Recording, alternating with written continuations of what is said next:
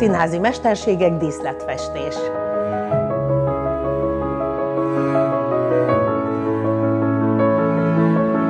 Egy nagyon-nagyon különleges anyag látható. Korábban nem volt hasonló. A Petőfi Irodalmi Múzeum, Országos Színháztörténeti Múzeum és Intézetnek van egy különleges szenikai gyűjteménye. Négy részegységből tevődik össze, történeti és kortás. Ebből a gyűjteményből válogattuk azt a különleges képanyagot, ami a tablókon jelenik meg. Sparraf Tágoston festőművész, Olá Gusztáv festőművész, díszlettervező, látványtervező, az Operaház és az Erkel Színház számára tervezett festett háttérképeivel.